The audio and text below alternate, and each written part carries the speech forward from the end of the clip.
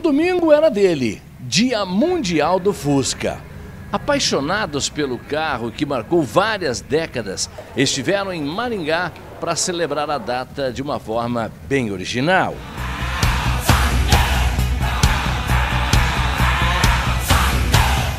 Logo pela manhã, eles já apareciam de vários lugares do Paraná. E olha que era Fusca de todas as cores, vários estilos e rodas, trazendo um pouco da cara do dono em cada detalhe. Alguns até patrocinados. Olha esse, mais parece que estava dentro do rio. Ou melhor, sem pintura nenhuma. Era o Ferrugem.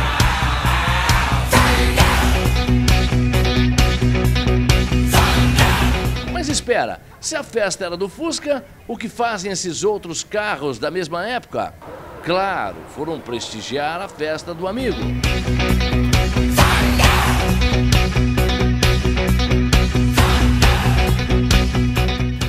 Ah, olha só quem está aqui. Bela, imponente, marcante, a Kombi. Mas não era somente ela que estava bonita para a festa. Olha só, alguém arriscaria falar o modelo e a marca desse amarelinho aqui?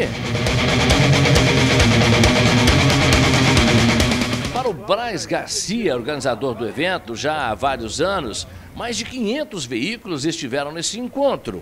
Passamos de 500 carros no evento. Estou computando fechando quase 400, é, 550 carros no evento.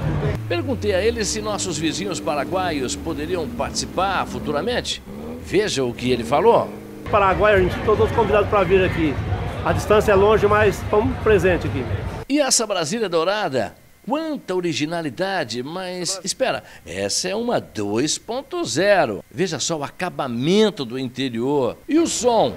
Mais de 4 mil reais em investimento. Ah, veja do lado dela. Aparece seu companheiro, também dourado, o dono da festa. Lembra do Ferrugem que mostrei no começo? Não é que ele até arranjou uma namorada na festa? Veja. Quem também esteve presente foram as caminhonetes, desfilando, lindas. Olha só essa C10.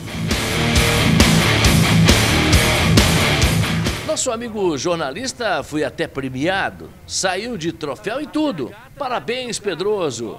O carro e a gata do lado, conquistado na mesma época. Se você não foi, não fique chateado. O evento acontece duas vezes por ano em Maringá, bem em frente a um dos pontos turísticos mais visitados do Brasil.